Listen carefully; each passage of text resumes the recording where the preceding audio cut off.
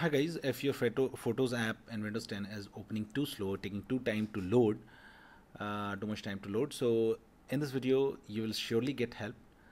The first option which will work for most of the Windows 10 user is to repair and reset the Photos app.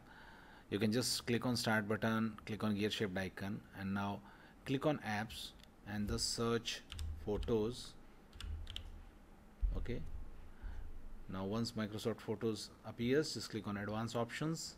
And now first of all click on repair to repair it.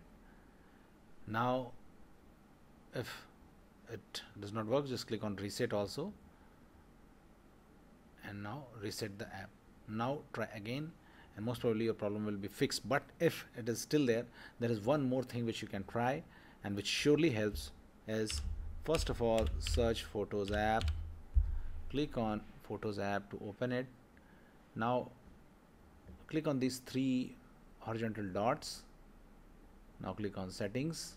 Now once you reach this page just come here viewing and editing and just turn this off. Link duplicates turn this off. And now make sure this people option is also turned off. It is by default off but make sure it is off in your case. Now scroll down and turn this option also off use hardware accelerated video encoding when available okay?